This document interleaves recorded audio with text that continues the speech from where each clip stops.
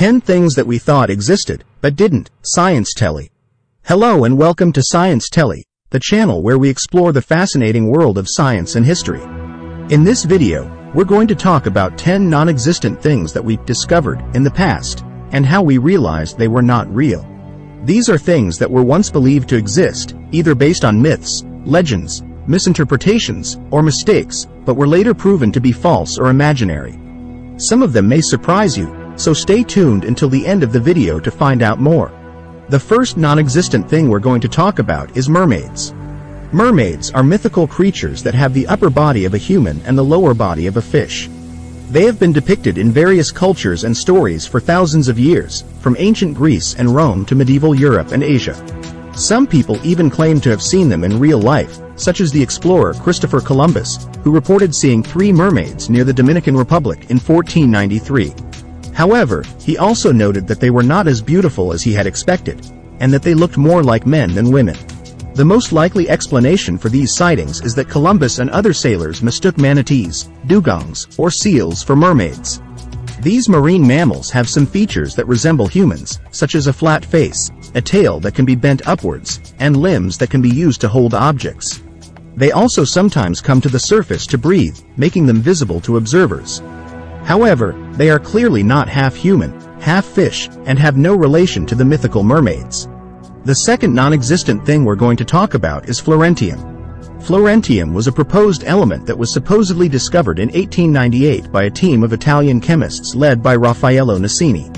They claimed to have found a new gas in the volcanic emissions of Mount Vesuvius, which had a greenish-yellow color and a characteristic spectrum.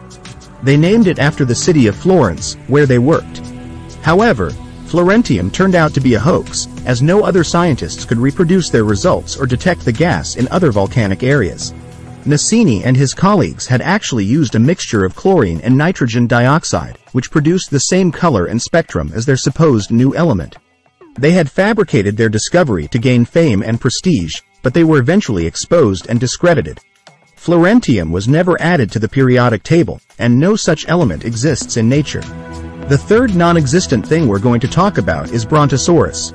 Brontosaurus was a name given to a large herbivorous dinosaur that lived during the late Jurassic and early Cretaceous periods, about 150 to 100 million years ago. It had a long neck, a massive body, and a long tail. It was one of the most famous and popular dinosaurs, appearing in many books, movies, and cartoons. However, Brontosaurus was not a valid scientific name, but a mistake that resulted from a fossil mix-up. In 1877, the paleontologist Othniel Charles Marsh discovered and named a new dinosaur, Apatosaurus, based on a partial skeleton. Two years later, he found another skeleton, which he thought was a different species, and named it Brontosaurus. However, he did not realize that the two skeletons belonged to the same genus, and that the second one was just a larger and more complete specimen of Apatosaurus. To make matters worse, he also used the wrong skull for Brontosaurus, attaching a skull from another dinosaur, Camarasaurus, to the body. This error was not corrected until the 1970s, when more fossils and studies showed that Brontosaurus and Apatosaurus were the same dinosaur, and that the correct skull was more slender and elongated. According to the rules of scientific nomenclature, the first name given to a species has priority over later names. So Apatosaurus is the valid name, and Brontosaurus is a synonym. However, the name Brontosaurus is still widely used and recognized by the public, and some paleontologists have argued that it should be revived as a separate genus. The fourth non-existent thing we're going to talk about is coronium. Coronium was a name given to a hypothetical element that was thought to exist in the solar corona, the outer layer of the Sun's atmosphere. It was proposed in 1868 by the astronomer William Huggins, who observed a green emission line in the spectrum of the corona during a solar eclipse. This line did not match any known element, so he suggested that it was due to a new element, which he called coronium.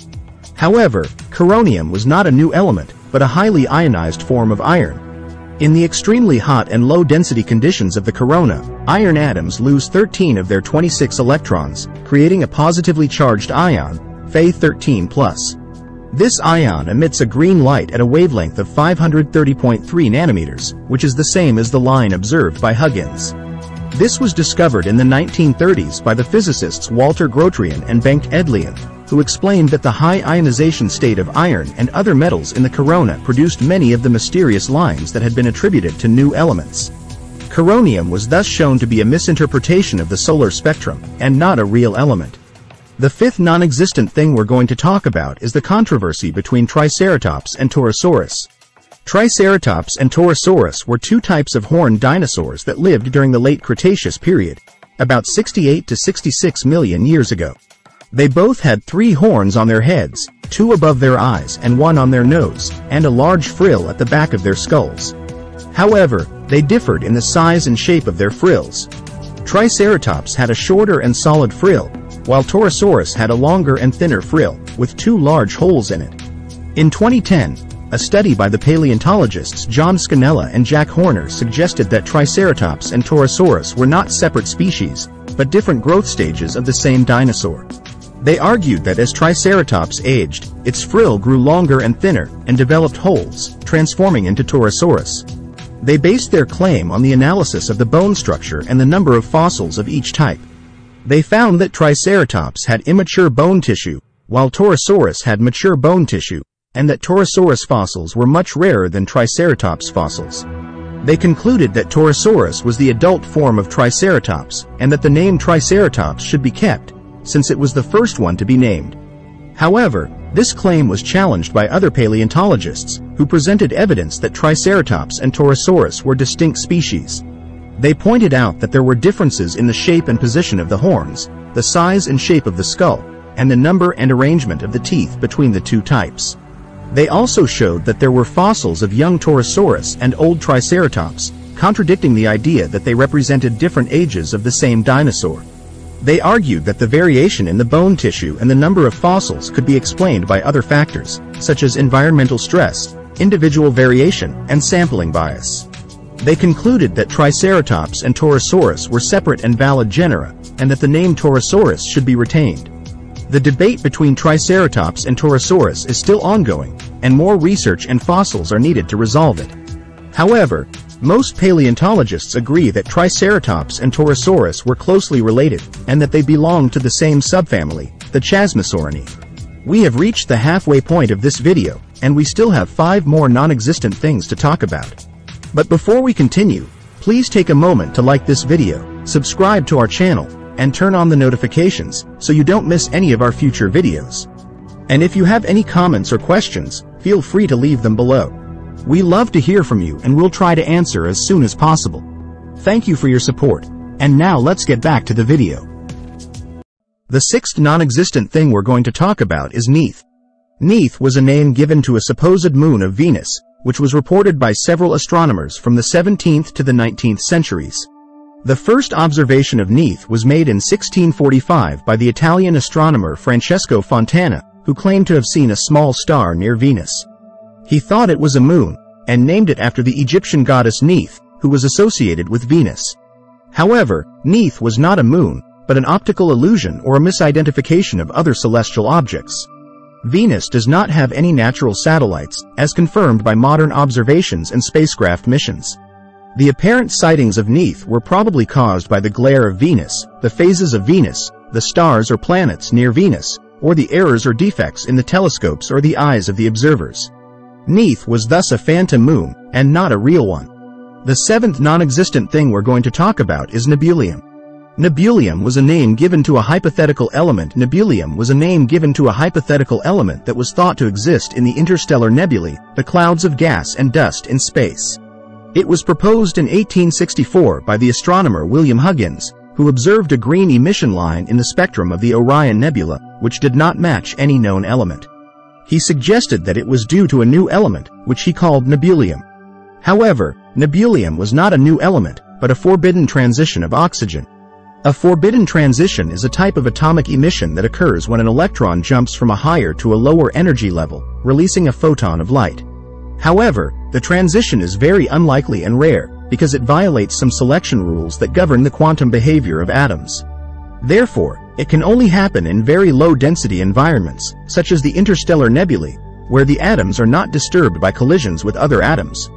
The green line observed by Huggins was actually due to the forbidden transition of doubly ionized oxygen, O2+, which emits a light at a wavelength of 500.7 nanometers. This was discovered in the 1920s by the physicists Ira Bowen and Bengt Edlén, who explained that many of the unknown lines in the nebular spectra were due to forbidden transitions of oxygen, nitrogen, sulfur, and other elements. Nebulium was thus another misinterpretation of the cosmic spectrum, and not a real element. The eighth non-existent thing we're going to talk about is Buss Island. Buss Island was a name given to a supposed island in the North Atlantic Ocean, which was reported by the English explorer Martin Frobisher in 1578. He claimed to have seen a large and high island, about 200 miles long and 40 miles wide, near the coast of Greenland. He named it after Sir William Buss, one of the sponsors of his expedition. He also claimed to have seen a mountain of gold on the island, which sparked a gold rush in England. However, Buss Island was not a real island, but a mirage or a misidentification of another landmass. No other voyagers could find the island, and no maps or charts could locate it. The gold that Frobisher brought back from the island was actually iron pyrite, a common mineral that looks like gold, but is worthless. Buss Island was thus a phantom island, and not a real one. The ninth non-existent thing we're going to talk about is Chiron.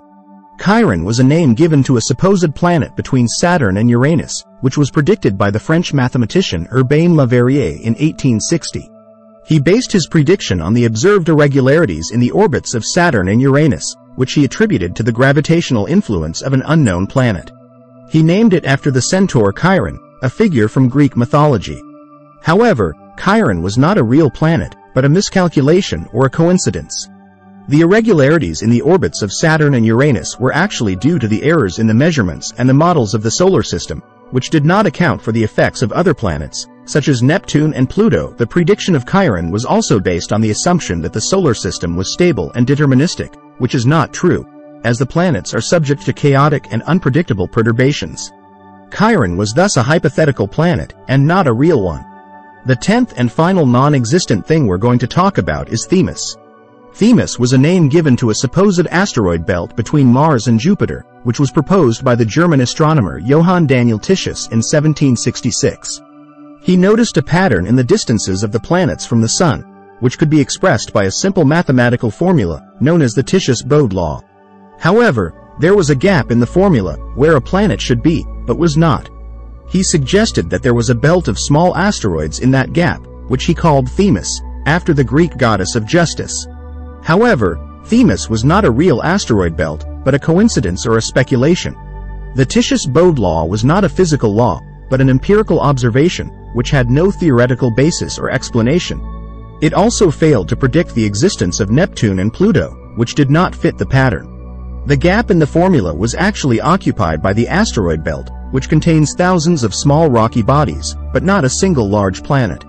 The asteroid belt was discovered in the early 19th century by the Italian astronomer Giuseppe Piazzi and others, who found the first four asteroids, Ceres, Pallas, Juno, and Vesta.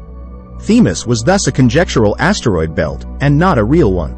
We have reached the end of this video, and we hope you enjoyed learning about 10 non-existent things that we've discovered in the past.